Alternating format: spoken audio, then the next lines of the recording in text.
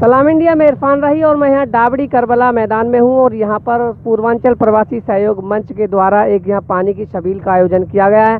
हमारे साथ पूर्वांचल प्रवासी सहयोग मंच के कुछ पदाधिकारी हैं इनसे बात करते हैं। मौलाना मुस्तफ़ा कासमी जो कि राष्ट्रीय उपाध्यक्ष हैं संस्था के इनसे बात करते हैं। सर बहुत बहुत खैर मकदम है आपका।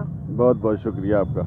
आपकी संस्था के माध्यम से क्या क्या काम होते हैं? जनाब पूर्वांच पूर्वांचल प्रवासी सहयोग मंच सबसे पहला काम आपस में भाईचारगी को पैदा करना मोहब्बत अखलाक को पैदा करना और मुल्क के हित में देश की तरक्की के लिए जो भी हम काम कर सकते हैं हमारी संस्था करती है।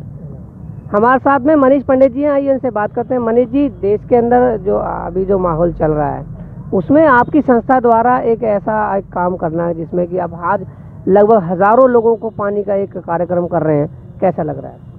मुझे बड़ी खुशी मिलती है लोगों को पानी पिलाना। मेरे नज़रिए से पानी से पतली कोई चीज़ नहीं होती। हिंदू, मुस्लिम, सिख, ईसाई सभी भाइयों के साथ मैं मिलकर, जुड़कर चलना चाहता हूँ। और मैं यही चाहूँगा कि जहाँ भी कोई भी माँ हो, विधवा माँ हो, किसी के घर में कोई चीज़ की कमी है या किसी गरीब बच्ची की शादी नहीं हो पाती है या कुछ भी है, मैं उसकी हर चीज़ के लिए सहयोग करने के लिए हमेशा के लिए तैयार रहता हूँ। फिरोज भाई हैं हमारे साथ जो कि इस संस्था के दिल्ली प्रदेश के अल्पसंख्यक सेल के अध्यक्ष हैं, इनसे बात करते हैं। फिरोज, मुहर्रम का आज जैसे कि योम आशूरा है। क्या पैगाम देना चाहेंगे आज? मेरा पैगाम यही है हर मुल्क वासियों के लिए कि हर लोग एक दूसरे से मोहब्बत बना कर रखें, प्यार माहौल से बात करें।